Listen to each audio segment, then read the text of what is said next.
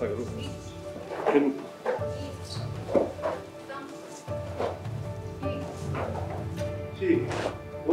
is a 10th done karate master with students all over the world. He has been teaching karate for over 40 years and has many students from beginners to veterans. He continues to practice by himself even on days when there is no dojo training. 毎日です定年して15年。ずっとですよ。毎日。肩も毎日やると忘れていくことはない大体やって。だから元気ですよ。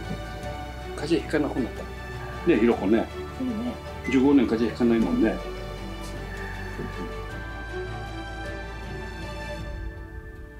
In addition to karate practice, there are other things he does every day.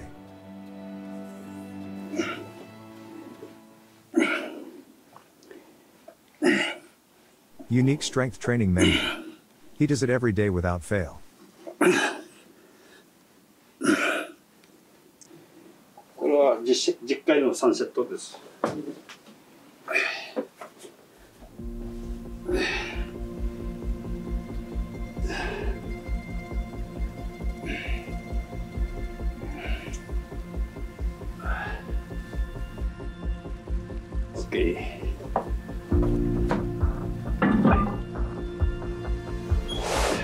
50キロ。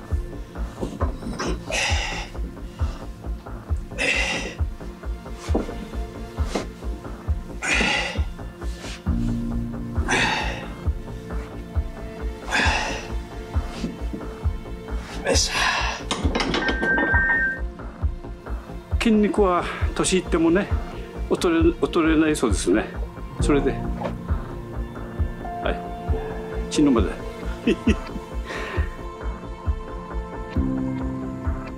He has been practicing karate for over 60 years. It all started with a judo comic strip. あの伊賀栗君とか稲妻君とかね柔道漫画があったんですよ。まああの空手は悪役。しかし破壊力がすごいわけですよ。漫画の世界だから岩も木もスパッとおるさんね。これ見てあ空手がいいなと思って。それで小学校自分からねあの木に藁を巻いて自己流でやってたんですよ。自己流で小学校から。 He started Okinawa Kempo when he was in high school, then studied Goju Ryu when he entered the police academy period, and later became a student of Shorin Ryu.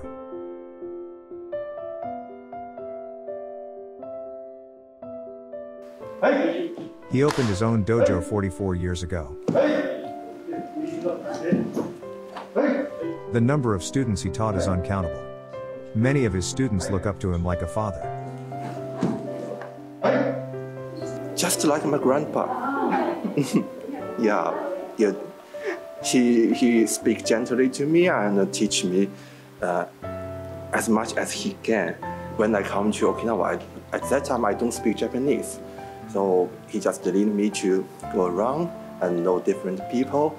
Well, uh, I respect him, just like my grandpa. yeah, family member. yeah.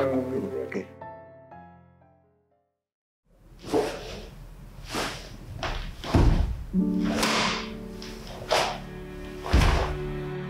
What brings him to karate?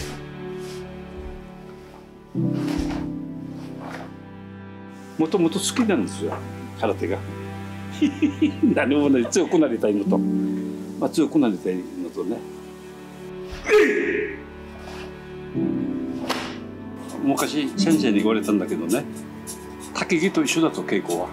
火を燃やさないと冷めますよね。100度が30度になりますよね。だから火を絶やさないということです。